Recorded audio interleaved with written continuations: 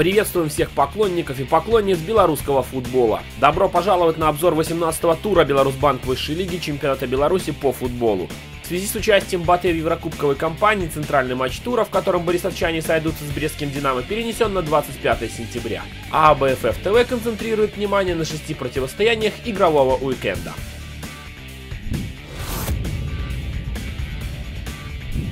И мы начинаем с поединка между столичным РЦОР БГУ и Гомелем. Помимо соседства в подвале турнирной таблицы, обе дружины также объединяет качественная игра в атаке при больших проблемах в обороне. Достаточно сказать, что и хозяева поля, зелено-белые, самые пропускающие команды высшей лиги. На отрезке перед очным противостоянием у гомельчан дела складывались более успешно. 5 очков в последних четырех матчах, в то время как студенты одержали лишь одну победу при трех поражениях. В данном противостоянии команда Алексея Меркулова сходу обозначила свои амбиции и претензии на положительный результат, прибрав инициативу и полагаясь на мощную атакующую линию, ведомую лучшим бомбардиром чемпионата и самым полезным игроком по системе гол плюс пас Квашуком. Южане активно атаковали большими силами, вскрывая оборону студентов, выстроенную в новом сочетании. Однако долгое время Гомель не удавалось расставить должным образом акценты в завершающей фазе атаки. А на 33-й минуте матча в ходе одной из немногочисленных контратак Руцора столичной дружине удалось отличиться. Тве блестяще разобрался с оппонентами в центре поля и вывел на ударную позицию Шкурина, а форвард вывел студентов вперед. Это взятие ворот для Шкурина пятое в сезоне, а Тве, оформив шестой ассистентский балл, максимально приблизился по этому показателю к лидеру команды Владиславу Васильеву, перебравшемуся в Брестское «Динамо».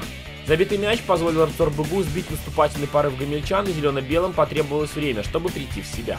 Второй половине встречи рисунок игры обеих дружин не изменился. Гомель продолжил атаковать, пытаясь пробить Лисько, в том числе посредством важного оружия в арсенале команды Алексея Меркулова стандартных положений, а хозяева поля были вынуждены много обороняться.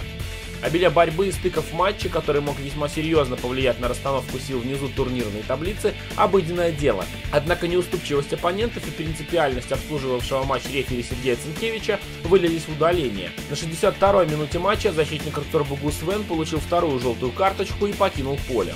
Оставшись в меньшинстве, студенты тем не менее не стушевались и, перестроившись в результате замен, продолжали выдерживать избранную линию, плотно обороняясь на подступах к своей штрафной, а Квашуку никак не удавалось сравнять счет в матче. А на 82-й минуте столичный коллектив остался в девятером после удаления появившегося на замену Концедайлова, также получившего второе предупреждение в матче.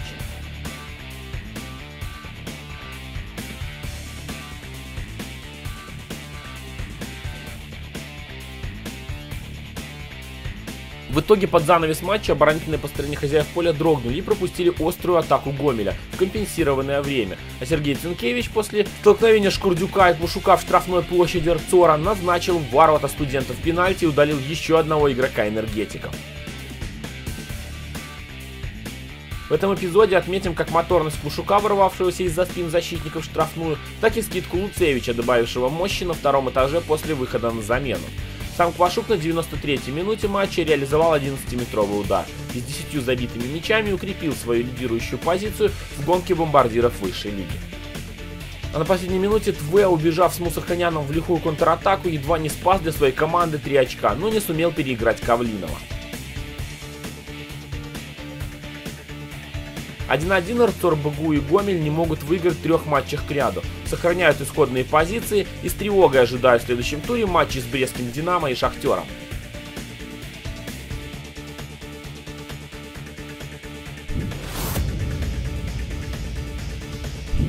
Далее переносимся в Гродно, куда в гости к Неману пожаловала Ислыч. К личному противостоянию оппоненты, возглавляемые самыми эмоциональными наставниками высшей лиги, подошли в полярном настроении. Представители Минского района, несмотря на невыразительную статистику гостевых матчей в нынешнем сезоне, а также не ни одной победы над гродненцами в гостях, в трех матчах к ряду обошлись без поражений, в то время как желто-зеленые угодили в очередной игровой и ментальный кризис, потеряв ряд игроков основного состава из-за повреждений, разгромно проиграв Шахтеру в минувшем туре и забив лишь один гол в трех матчах.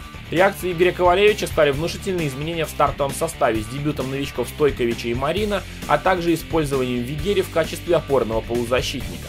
Ислыч, полагаясь на привычное сочетание игроков в обороне, вместе с тем удивило отсутствием с первых минут матча одного из ключевых футболистов Янсане, имевшего проблемы со здоровьем и не набравшего оптимальных кондиций. Рассчитывая использовать отсутствие взаимопонимания между вышедшими в новых сочетаниях гродненцами, волки с первых минут матча постарались сыграть активно, нагнетая давление у ворот Дударя. Имели ряд перспективных возможностей открыть счет в матче, главным образом в результате розыгрыша стандартов. Неману потребовалось время, чтобы успокоить игру и спокойно конструировать свои атаки. Немаловажную роль в этом сыграл вернувшийся в опорную зону Евдокимов, который сумел связать линии и добавить осмысленности действиям желто-зеленых в центре поля. Однако до перерыва ни команда Виталия Жуковского, ни перехватившая инициативу хозяева поля отличиться забитым мячом так и не сумели. Во втором тайме у обоих соперников были хорошие подходы к воротам друг друга и шансы выйти вперед. Но если Якимов один из острейших моментов Немана использовать не сумел и промахнулся из убойной позиции, то Волки на 66-й минуте матча смогли выжить максимум из своего эпизода у ворот Дударя. Появившемуся на замену Янсане переиграть голкипера Гродненцев не удалось, но Стефан успешно сориентировался на добивании. Этот гол для нигерийского защитника Ислыча стал четвертым в нынешнем сезоне и позволил возглавить список самых результативных игроков обороны высшей лиги.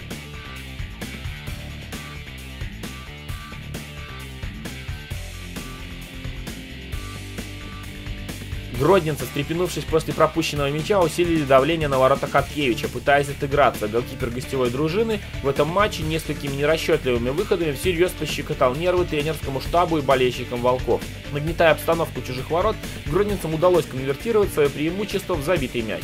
На 78-й минуте матча после борьбы Янушкевича и Забелина в штрафной площади Ислачи главный арбитр Виктор Шимусик принял решение назначить 11-метровый удар.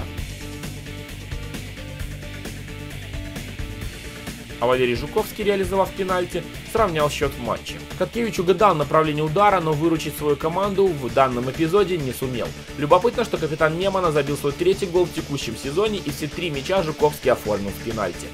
В оставшееся время качельная игра со стороны обеих команд успеха ни тем, ни другим не принесла, а самым примечательным моментом в концовке матча стал дебютный выход на поле в составе Ислычи Александра Глеба. 1-1 Ислыч вновь набирает очки и забивает в пятом матче подряд, а Неман не может удержать Викторию в четвертом туре к ряду.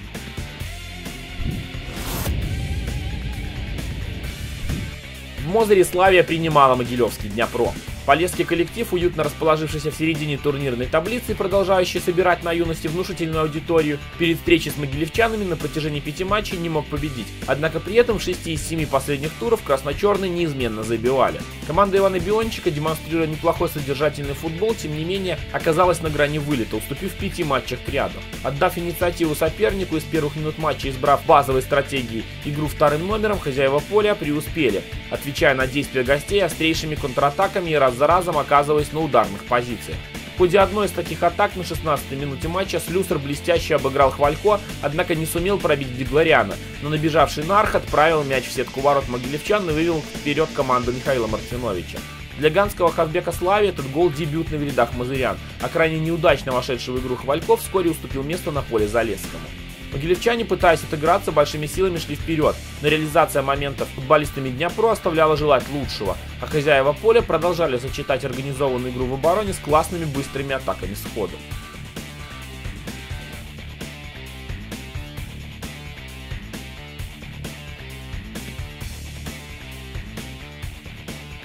После перерыва гостевая дружина сумела добавить в агрессии и креативе чужих ворот и вынудила Славию гораздо больше внимания уделять оборонительным действиям.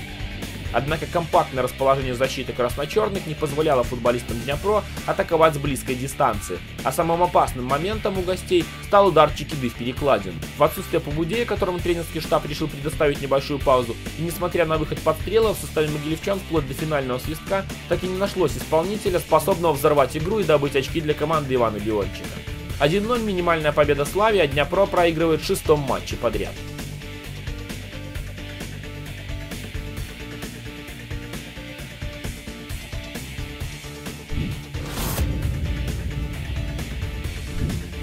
Футбольный клуб Минск против Жодинского торпеда «Белаз». В преддверии очного противостояния автозаводцев тяготила серия из трех к ряду матчей без побед, в то время как команда Андрея Радина, несмотря на неровный ход по дистанции с точки зрения результата, демонстрирует качественную игру и рассчитывая на контратакующую модель, горожане забивали в пяти к ряду матчах. Хозяева поля, исходя из кадровой ситуации и стратегии соперника, вновь сделали ставку на игру в три центральных защитника, которым было необходимо сдерживать дуэт жодинских форвардов Абрадович-Горбачев, и двух коридорных, а также быстрый переход из обороны в атаку, имея в наличии быстрых Шевченко, Бахара и Насибулина. Расчет же Вадима Скрипченко удивить оппонентов сменой тактики новыми лицами в стартовом составе не оправдался, а Климович и Николаевич, признанные в отсутствии номинальных инсайдов насытить позиции между линиями и освободить зону для подключения крайних защитников, со своей задачей справиться не сумели. Красносиние с первых минут матча выглядели агрессивнее, острее и демонстрировали гораздо более цельную игру, нежели автозаводцы, у которых лишь эпизодически получалось строить атаки у ворот Леонова. Горожане посредством контратак в первом тайме могли открывать счет в матче. Однако до перерыва Горбунов спасал торпеду Белас от пропущенного гола. А во второй половине матча Минск сумел полностью выключить из игры гостевую дружину и реализовал замысел Андрея Разина. На 49-й минуте матча Сазончик изумительной длинной передачи отправил забег на Сибулина, и форвард красносиних сумел переиграть Горбунова. Для Насибулина тот забитый мяч дебютный в нынешнем чемпионате, а Сазончик записал в актив первую голевую передачу в высшей лиге. Забитый мяч придал хозяевам поля уверенности, горожане здорово контролировали ход поединка, продолжая вскрывать оборонительные построения беласовцев острейшими быстрыми атаками. организованная игра в защите не позволяла команде Вадима Скрипченко даже с выходом по и Мышенко создать что-либо опасное у владения Леонова. А на 72-й минуте матча еще одна передача из глубины поля застигла врасплох оборону торпеда Белас, и Бахар удвоил преимущество Минска. В данном эпизоде отметим голевую передачу Свежова, который сумел вывести Бахара на ударную позицию, а также неуверенную игру Афи, проигравшего борьбу форварду горожан. Бахар забил свой пятый гол в текущем чемпионате, отличившись забитым мячом во втором матче к ряду. Спустя 4 минуты Яроцкий получил второе предупреждение в матче и оставил свою команду в меньшинстве. Однако вынужденные сосредоточить больше сил на обороне своих ворот минчане по-прежнему не утратили стройность рядов и уверенно довели матч до победы. 2-0 Минск одерживает викторию и улучшает турнирное положение, а торпеда Белас не может выиграть на протяжении четырех туров.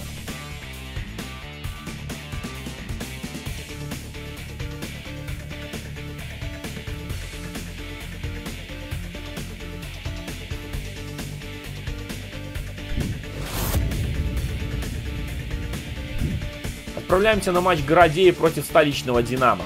Сахарный коллектив, забив меньше всех в высшей лиге, вместе с тем по количеству минимальных побед превосходит даже лидеров чемпионата и на своем поле может дать бой абсолютно любому оппоненту. Белосиние под руководством Сергея Гуенко в двух последних турах добились побед, однако динамовцы по-прежнему нащупывают свою игру и пытаются как можно скорее внедрить в командную химию новичков.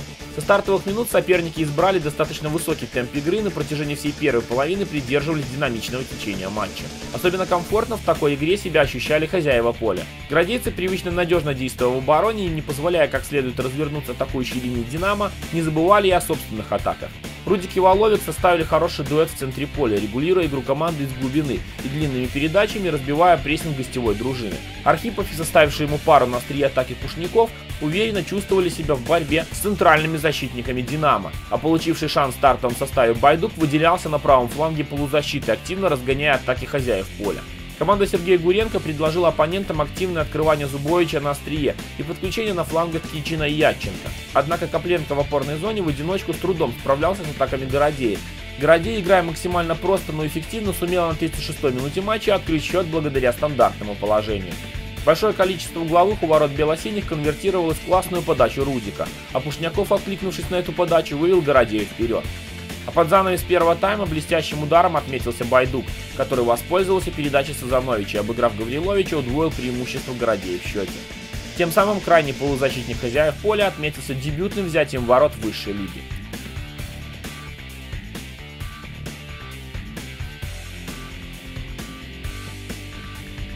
А на 56-й минуте матча успех команде Олега Радушка принес еще один стандарт. Пушников не разберихи у ворот Плотникова после подачи углового сумел отпасовать на Жарскиса. Литовский защитник Городей забил свой второй мяч в текущем сезоне.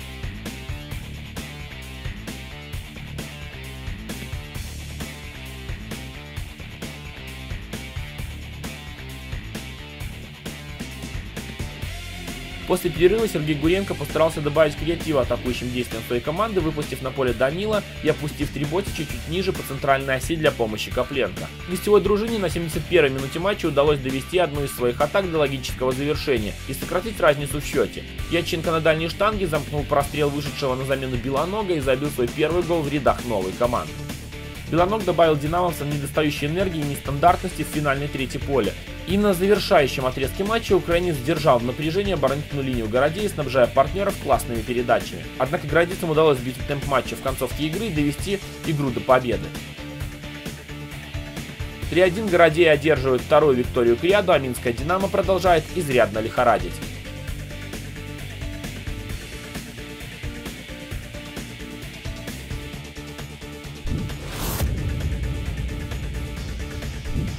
Завершаем наш обзор противостоянием географических соседей Слуцка и Целигорского Шахтера. Хозяева поля в последних матчах поймали свою игру и значительно поправили турнирное положение, не проигрывая в четырех турах к ряду.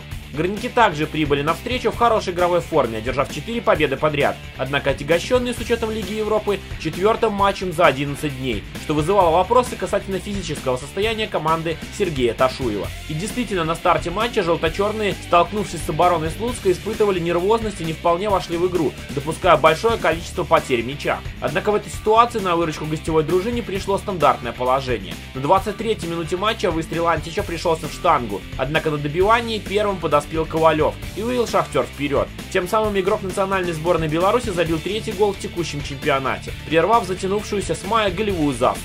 А спустя две минуты Ковалев во второй раз в матче огорчил Панкратова, замкнув прострел Бакая. Восьмая голевая передача вывела албанца в лидеры среди ассистентов высшей лиги. В этой атаке отметим не только успешное завершение, но и игру Антича с Балановичем, сумевшими взорвать левый фланг и сконструировать голевую атаку. Этот голевой спорт в течение трех минут с отменной реализацией моментов позволил горнякам успокоить игру и в комфортном режиме контролировать ход поединка. Лучане старались отвечать своими атаками, однако потеряв в преддверии матча из-за проблем со здоровьем двух форвардов, Виталий Павлов был вынужден обходиться на острие атаки номинальными инсайдами Дудиком и Джозефом, которые были полезны в быстрых атаках сходу, однако Слуцкий испытывал проблемы в позиционном наступлении.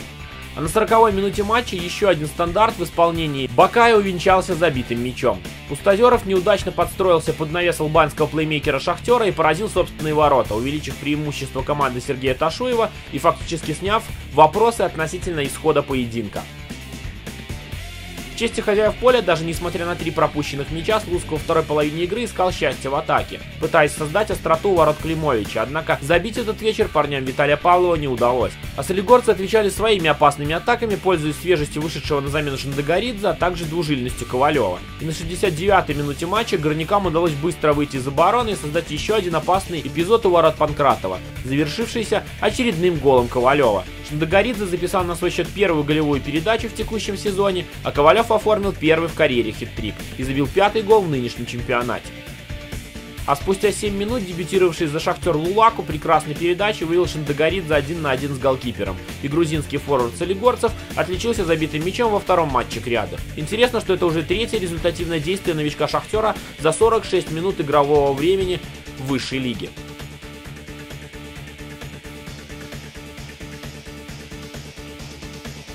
Продолжая атаковать, команда Сергея Ташуева могла повторить результат предыдущего матча с Неманом, однако остановилась на достигнутом преимуществе. 0-5 Слуцк терпит третье крупное поражение в сезоне, а Шахтер, продемонстрировав великолепную реализацию моментов, побеждает в четвертом матче к ряду и выходит на второе место по результативности в высшей лиге.